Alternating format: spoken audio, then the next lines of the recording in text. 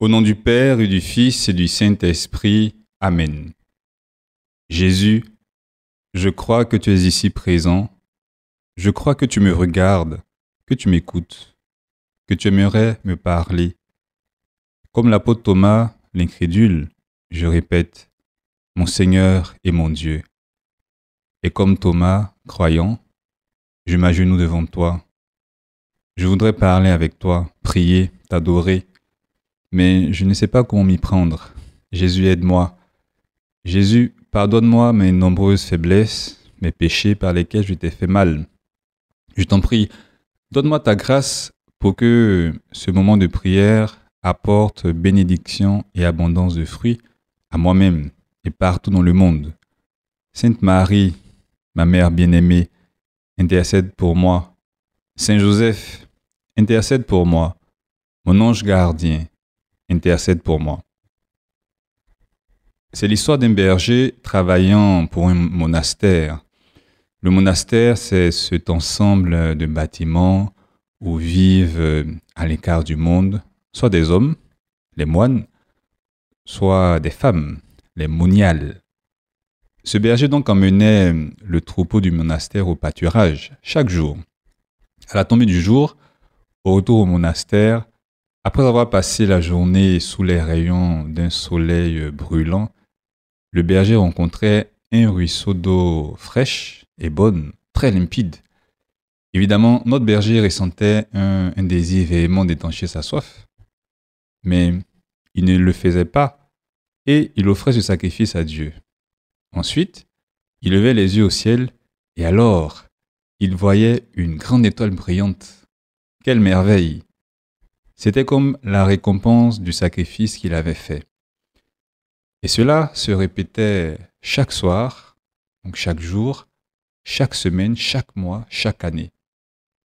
Les années sont passées, et lorsque le berger est devenu vieux, le prieur du monastère, c'est-à-dire euh, le moine qui est la tête de cette communauté de religieux, eh bien le prieur a, le prieur a décidé de remplacer notre berger par un autre plus jeune. Le vieux berger accompagna le plus jeune le premier jour pour lui montrer les meilleurs lieux de pâturage. C'était une sorte de, stage, disons. Au retour, après avoir passé leur journée sous le chaud soleil, les deux bergers arrivent au ruisseau à la nuit tombée. Le vieux berger a alors un doute. Il hésite, il se dit, si je ne bois pas, mon compagnon ne le fera pas non plus. Alors que je suis sûr qu'il a très soif après cette journée de travail. Mais si je bois, je ne pourrai pas voir l'étoile brillante.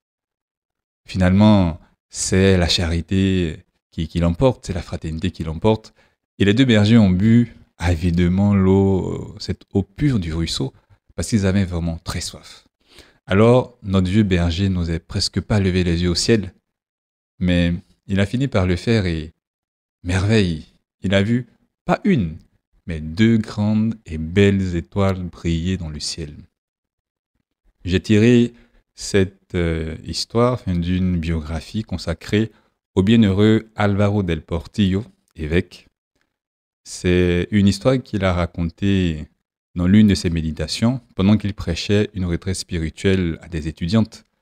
Et une des participantes a pris note de cette histoire, comme quoi lorsqu'on assiste bien, lorsqu'on suit bien une retraite, eh bien, elle peut profiter à des milliers de personnes comme, toi et, comme moi, même euh, des années après la fin de cette retraite. Mais je reviens à l'histoire de, ces bergers. La morale qu'on peut en tirer est très claire. Seigneur, tu récompenses ainsi la charité qui est la, la première des vertus, l'amour pour toi qui conduit à aimer les autres. Tu m'invites à faire le choix de la charité apparaît une sorte de dilemme entre euh, mes résolutions, mes dévotions et euh, la situation ou les, besoins des autres, tu m'invites à éviter, euh, tu m'invites à éviter toute rigidité dans mes relations avec toi. Saint Luc nous donne un exemple d'excès, de, dureté, un exemple de, rigidité dans un passage de son évangile. Nous sommes un jour de sabbat ce jour de repos que les Juifs observaient en, en souvenir du septième jour de la création, quand Dieu s'était reposé de tout travail. Et bien donc un jour de sabbat, Seigneur, tu traversais des champs. Et tes disciples arrachaient des épis, je suppose que c'était un champ de blé. Ils arrachaient des épis et ils les mangeaient après les avoir froissés dans, leurs mains. Un repas, disons, euh, très frugal. Les apôtres n'avaient pas mieux à se mettre sous la dent. Et alors des pharisiens, ces juifs euh, très observants, très respectueux de la loi de Moïse, eh bien les pharisiens se sont plaints. Ils estimaient que les apôtres, en froissant dans leurs mains ces épis, là, étaient en train de, de travailler. Or, c'est un jour de sabbat, hein, un jour où on ne doit rien faire.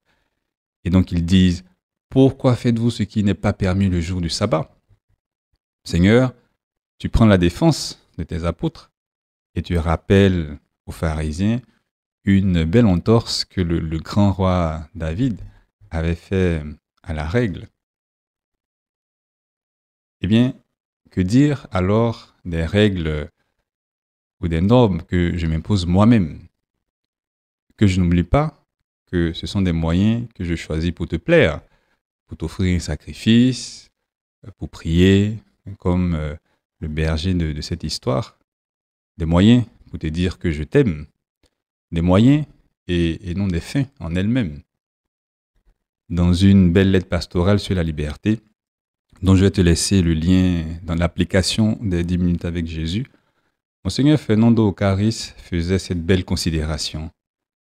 Et je le cite, Être libre d'esprit signifie ne pas s'astreindre à des obligations qui n'existent pas Savoir se passer de tant de petites réalités qui dépendent de notre euh, libre initiative personnelle ou les modifier avec souplesse. Fin des citations. Quelquefois, je peux m'imposer de fausses obligations. D'autres fois, je peux être le, prisonnier de choses euh, que moi-même, si je, m'impose.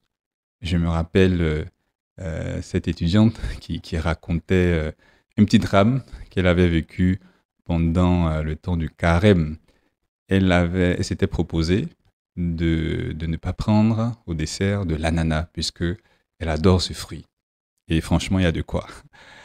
Et euh, donc, effectivement, euh, elle a vécu cette résolution. Et dans le resto universitaire qu'elle fréquentait, il y avait toujours le choix entre deux fruits. Et donc, lorsque l'ananas apparaissait, eh bien, pouvait choisir autre chose.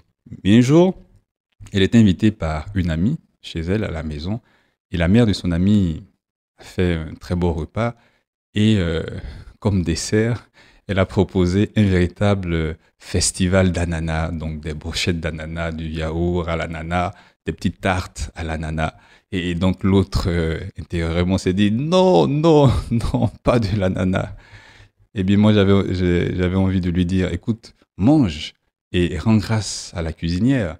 Ensuite, euh, dis merci aussi au créateur pour avoir créé euh, l'ananas que tu peux savourer.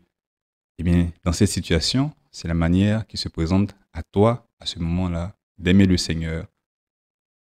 Seigneur, donne-moi cette flexibilité, cette souplesse pour savoir laisser tomber même euh, telle ou telle pratique de piété, telle dévotion, telle neuvaine ou tel acte de sacrifice, juste pour ne pas me créer des obligations qui n'existent pas. Et surtout, quand l'amour des autres m'impose autre chose. En, tant que chrétien, j'ai certaines obligations à accomplir et je dois m'y tenir.